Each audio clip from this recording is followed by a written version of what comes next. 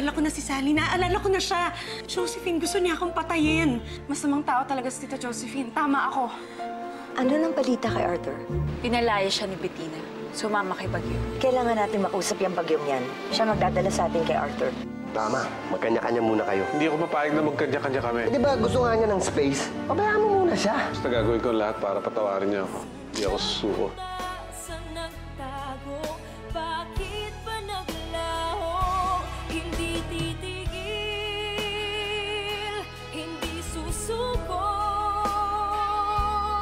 Gusto mo ba? Oo naman.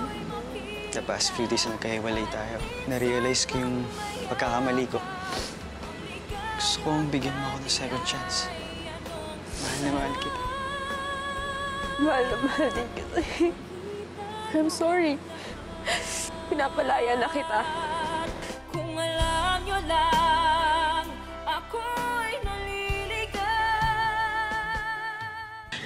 Napakawalang yan ng Josephine na yun. I to think, para napakabuti ng kaibigan sa'yo. Akala ko rin mabuti siyang kaibigan, kaso lang ngayon, nagdududa na ako sa motibo niya. May foul play dun sa case ni Manang Sally. Mistage lang lahat ni Tita Josephine. Matagal niya nang alam na ikaw ang mami namin. Na hindi ikaw si Manang Sally. Kung matagal niya nang alam na ako si Bettina, ano nangyari dun sa tunay na Sally? Matagal nang patay si Sally, Bettina. Gusto na sana naming ipagtapat sa'yo. Pero tinakot kami ni Ma'am Vanes. Pinapatay nila si Julia. Pasensya na, Bettina. Sana mapatawad mo kami. Sana mapatawad niyo rin ako. Nimulog sa nangyari kay Julia. Hi, Bagyo! Uy, gusto kong puntahan kita sa place mo. Eh, Kasi namimiss na kita eh. Sarap sana. Kaya lang, yung tropa ko eh. Sino ang tropa? Si Arthur. Pero quiet ka lang ha, kasi sinipa ni Bettina eh. Eh, gusto lang naman talaga kitang makita eh. Saan ba yan? Basta pumunta ka rito sa may Rojas District. Sa wakas, makikita ko na rin si Arthur. At mababawi ko na rin siya. Kailangan natin na magpoprotekta kay Mami. Mapagtitiwalaan natin. Nandito lang sana si Daddy. Alam niya ang gagawin natin. Tawagan kaya natin si Daddy. He has the right to kung ano yung mga nangyayari. Cannot reach yung cellphone niya. Mrs. Buena, pwede namang hindi na lang kayo sumama. Hindi ako natatakot sa kanya. Isa pa, gusto kong personal na makita ang itsura niya kapag inaresto niyo siya. Malapit na tayo. Ayan, ayan. Yun yung bahay ni Josephine. Josephine, lumabas ka dyan! Perez, nasan yung magaling mong kaibigan? Anong ginagawa mo dito, Bettina? Dahil ipapakulong ko si Josephine. Ano?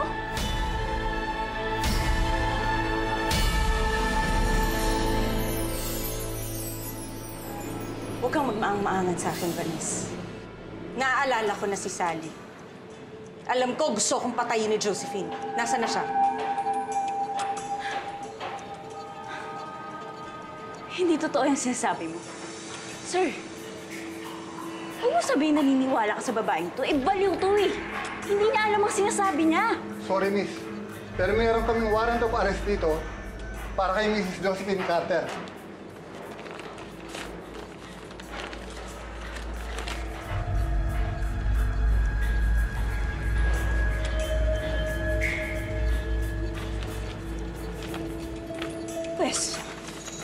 Wala dito si Josephine. Kahit halugugin niyo ang buong kabahayan, hindi niyo siya makikita.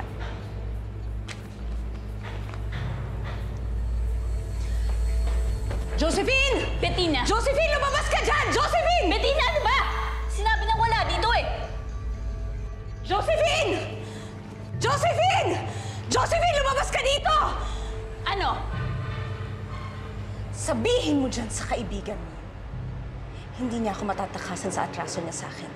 Sisingilin ko siya ng mahal. Hindi hindi ako titigil hanggat hindi ko siya napapakulong.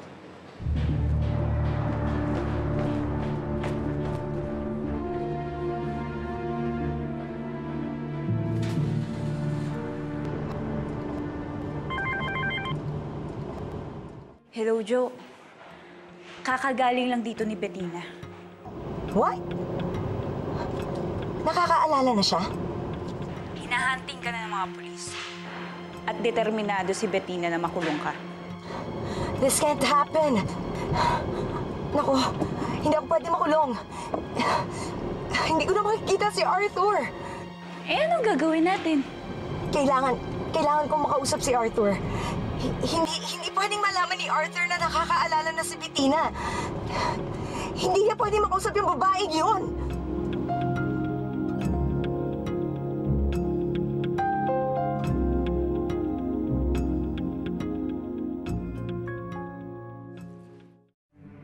Hayop siya.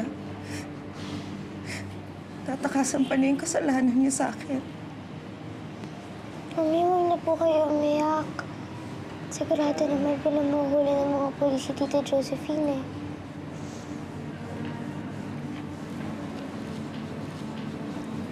Alam niyo, buti na lang nandito kayo sa tabi ni Mami.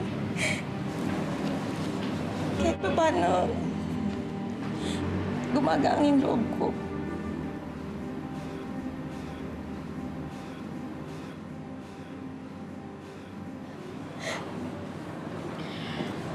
Alam niyo po, Mami, kung nandito lang po si Daddy, sigurado po ako i-assure niya kayo. Kasi ayaw niya kayo nakikita nalulungkot siya umiiyak. Oo nga, Mami. Naalala ko pa noon kapag na-discourage ka, dahil kang niyakap ng, you know, ng ganyan ginagawa ni Ate Celine. Naalala ko nga, lagi niyang pinapalakas yung loob ko.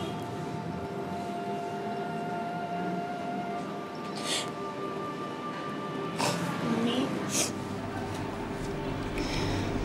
Mami, mahal na mahal ka ni Daddy. Ngayon ko lang na-realize. Naghanap din ako sa kanya. Pero, Mami, Daddy ng totoo. Sana maramdaman mo ulit yun.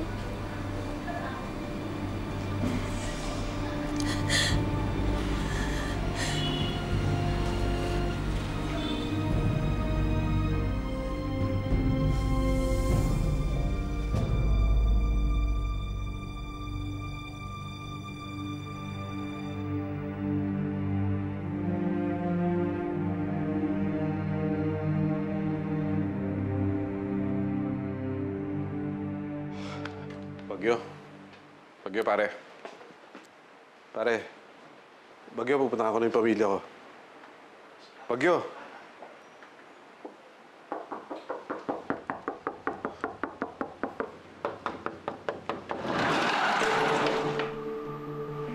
Me? Josephine?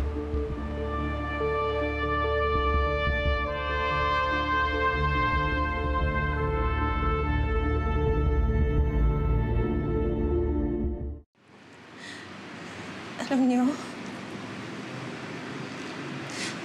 hindi niya ako iniwan kahit nagsisimula pa lang kami.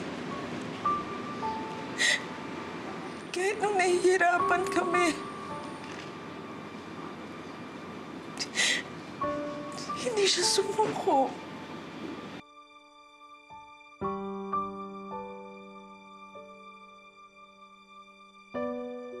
Ako sumabog ng ganito, Bettina, alam mo yan. Lahat ng isinusumbat sa akin ng mama mo, may bibigay ko na sa'yo at sa magiging baby natin.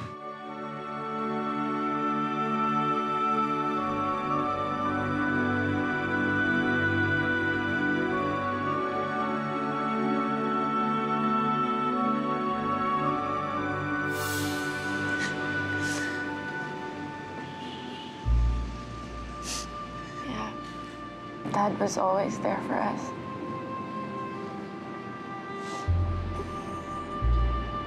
Niyo, Mommy, lala ko dati, lagi niya sinasabi sa akin na ang ganda-ganda pa rin ng boses ko kahit minsan alam ko sa sarili ko na pausa ko or hindi ako makanta. Tapos, tapos ako naman nun, kapag no-bore ako, magyaya lang nun si Dad mag-basketball, okay na. Tapos lagi siya nakikinig sa stories ng mga drawing ko. Yeah. Tapos, palagi tayo na-advise ni Daddy. Gusto niya yung the best para sa ating apat. Alam mo, Mami, bilang ikaw ang mahal naman ni Daddy eh. Kami ng mga kapatid ko. Mahal na mahal niya. Anong ginagawa mo dito? Arthur, we need to talk. Wala ka tayong pag-uusapan, di ba? Tapos na sa atin. Ikaw lang nagsasabi niyan. Pero para sa akin, tayo pa rin. Did you really think na basta-basta na lang kitang pakakawalan? After all I've invested in you. You make me sound so cheap. No, Arthur, you're not cheap at all. Sa totoo lang, minahal kita. At hanggang ngayon, mahal na mahal pa rin kita. Josephine, si Bettina lang ang mahal ko. Mami, namimiss ko na po si Daddy. Sana mapatawad niyo na po siya. Yun po yung wish ko this Christmas. Sana po, mapatawad niyo na si Daddy at magkasama-sama na po tayo.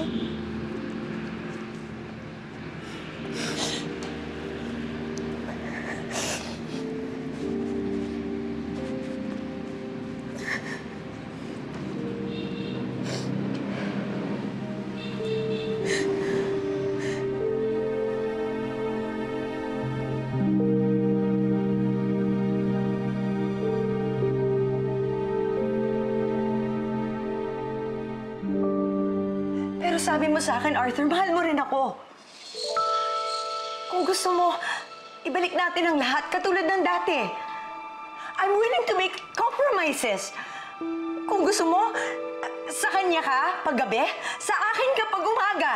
Doon ka mag-breakfast kay Bettina, sa akin ka mag-lunch. Kahit ano gusto mong gawin, gagawin ko. Huwag mo lang akong iwan, Arthur.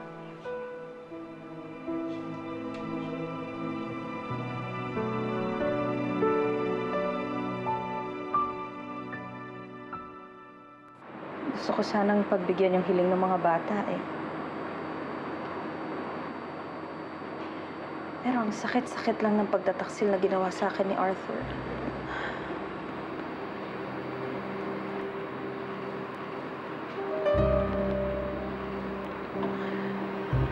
Naiintindihan kita, anak. Pero ipapaalala ko rin sa'yo na alam ni Arthur na sumama ka kay. Pero... Kasama kayo sa isang bahay. Di, parang nagkarelasyon na rin kayo. Pero mama, walang namagitan sa amin ni Quintin. Lagi kong kasamang matulog si Faye sa kwarto. Sa abot ng makakaya ko at naaalala ko, hindi ko pinagtaksilan ng asawa ko. Gusto ko, gusto ko kami magkasama-sama ngayong Pasko. Sa isip ko, alam ko, tamang patawarin ko siya, pero... Mama, ang bigat-bigat sa puso ko.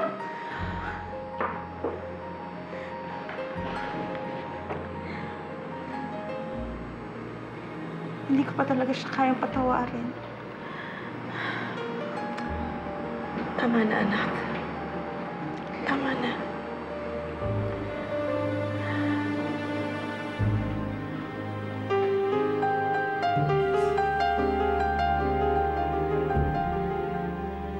Josephine, pwede ba? Tigilan mo na ako. Sinabi lang hindi kita mahal. Si Bettina lang ang mahal ko, siyang asawa ko, siyang pamilya ko, siya nanay ng mga anak ko. The sooner you accept that, the better it'll be for all of us. No! Yes! Now, if you'll excuse me, I have a marriage to fix. Arthur, hindi kita papayagang umalis. Kung hindi ka rin lang mapupunta sa akin, hindi, hindi ka rin mapupunta sa babae yan!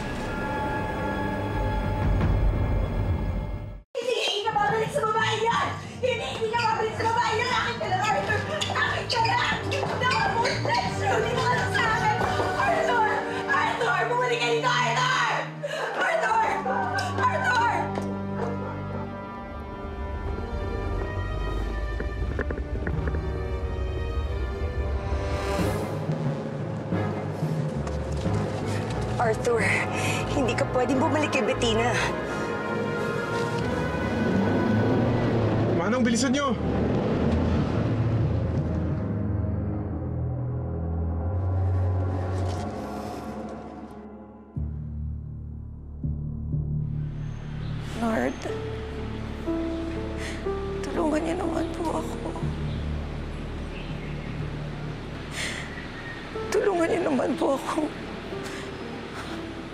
Mapatawad ko si Arthur.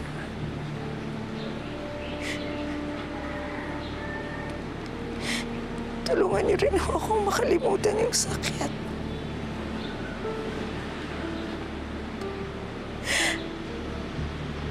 Tulungan niyo po akong tanggalin yung galit sa dibdib ko kasi ayoko. Ayoko na magalit.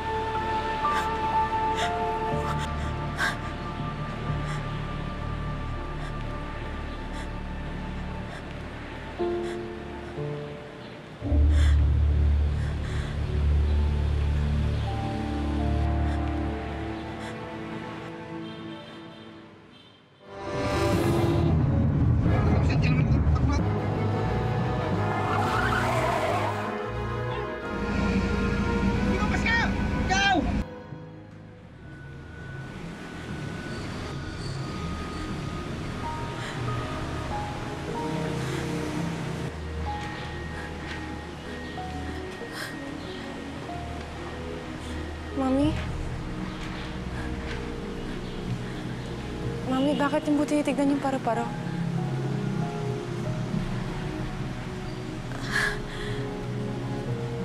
Anak.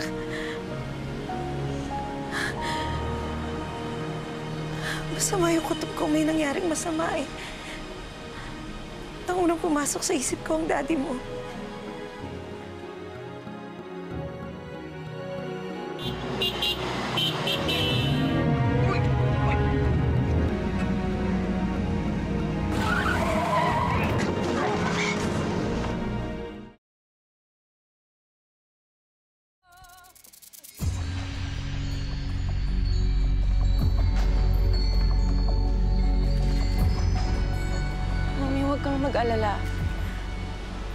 Hindi pa babayaan ni Lord si Daddy.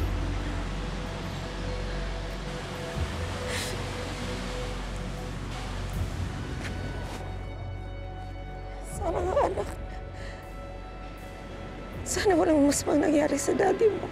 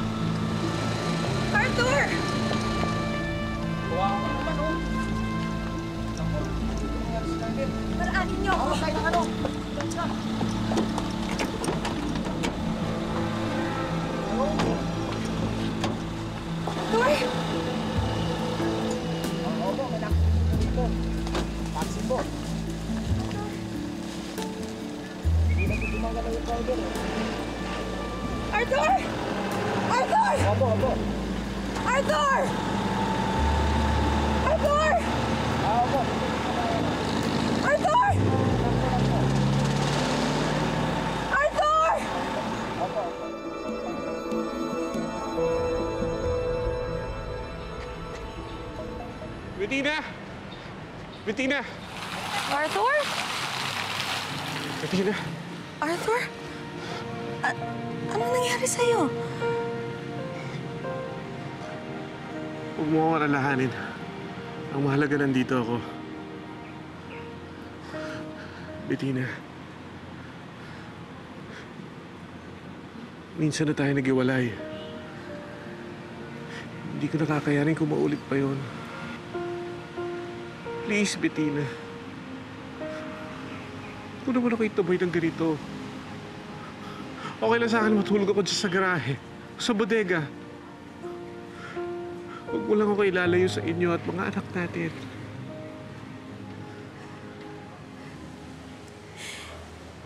Hindi ganun kadali, Arthur eh. Alam mo, humihingi nga ako sa Diyos ng tulong para lang mapatawad ka at kalimutan lahat ng ginawa mo.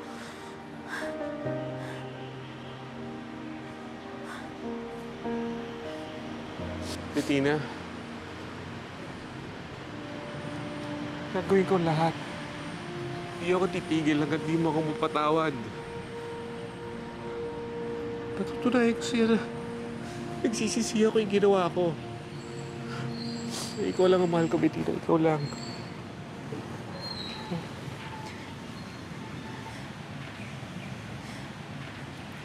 Arthur, for the sake of our kids, I'll give you another chance. Pero sana intindihin mo ngayon, may mga kondisyon na ako. Kahit ano gagawin ko, Hinding-hindi ka na makikipagkita o makikipag-usap kay Josephine. I promise. Hindi hindi na ako makikipagkita at makikipag-usap sa babaeng yun. At sana, Arthur, huwag mo na ako sasaktan ulit ng ganito. Tina, hindi hindi na kita sasaktan. Hindi hindi na.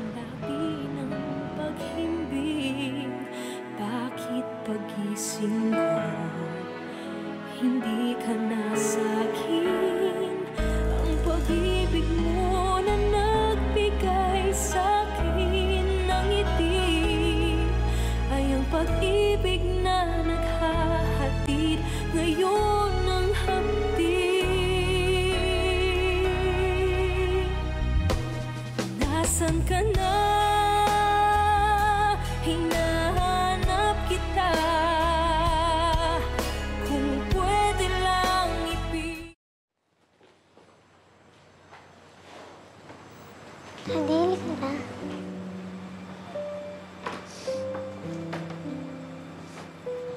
Ate, kuya, dito na ulit titira sa atin si Daddy.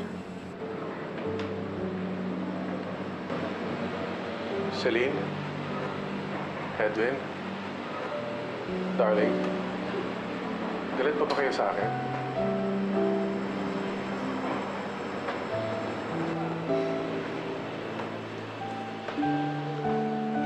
Dad, hindi po. Masaya lang po kami kasi bumalik na po kayo ulit.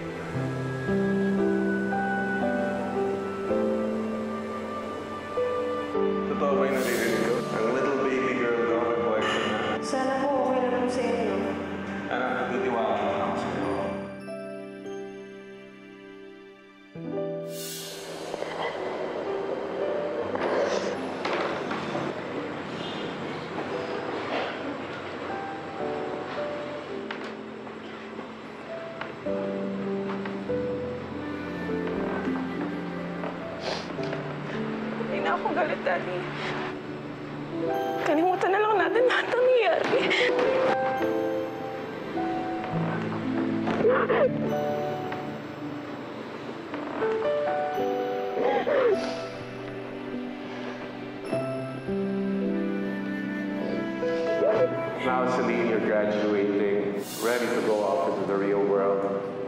So siguro, parating sa'yo, how wonderful you've been. Dad,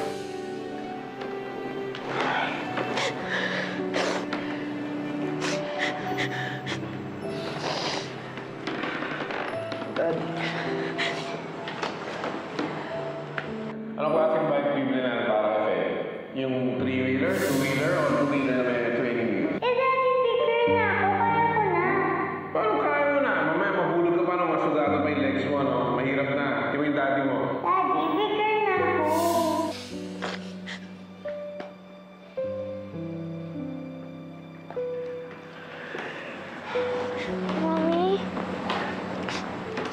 thank you po ah. Kasi pinatawad niyo na ulit si Daddy. I'm glad na may pinagkasundoan na kayo ni Bettina, Arthur. Huwag mo sanang sayangin ang pagkakataong binibigay niya sa'yo. Pangako, Mama. Gagawin ko lahat para patawarin ako ni Bettina. Babawi ako. Babawi ako mga anak.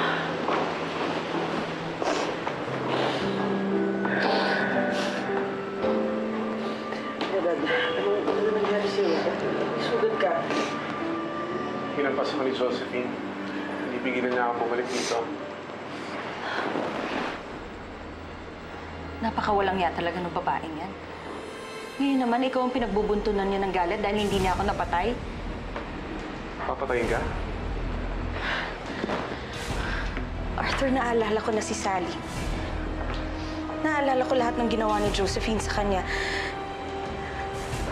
Pinagtangkaan niya yung buhay ko.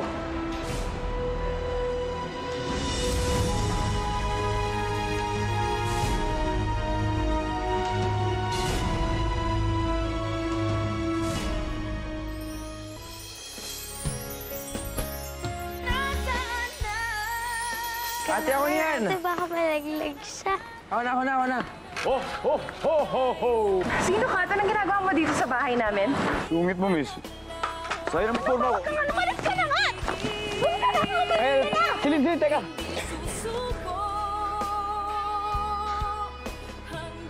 Susugod ka ba sa mga bena? Josephine, huwag mo nang gawin yan. Jo, ano ba? Narinig mo ba ako? Kapag pinatay mo si Bettina, may ipit ka lang. I don't anymore. Sinira na ni Bettina. Sisirain ko rin buhay niya. Pati buhay ng pamilya niya. Leave me alone! Kung ayaw mo pati ikaw madamay. Pakoy, ano ba talaga kailangan mo sa akin? Susorry lang sana ako sa'yo, Celine. Hindi ko naman taga ginusto yung nangyari or makipag-break sa'yo. Nadala na ako sa selos na hari yun. Forma mo din, ganun ba? Parang ganun na nga. Gusto ko lang malaman niya na dito lang ako para sa kanya. Mukhang mahihirapan ka. Hindi ganun kadali na tanggap ka niya. Then I'll take a risk. Mahal na mahal kita, Celine. Hindi ko pala kayang magkahiwalay tayo. Siyempre, marami din tayong pinagdaanan. Kaya kahit papano, tutunan din kitang mahalin. So, tayo na ulit. Parang ganun na nga. Kailangan ko ma-warning yan si, si Arthur. Sino yan? Tinataguan mo ba ako?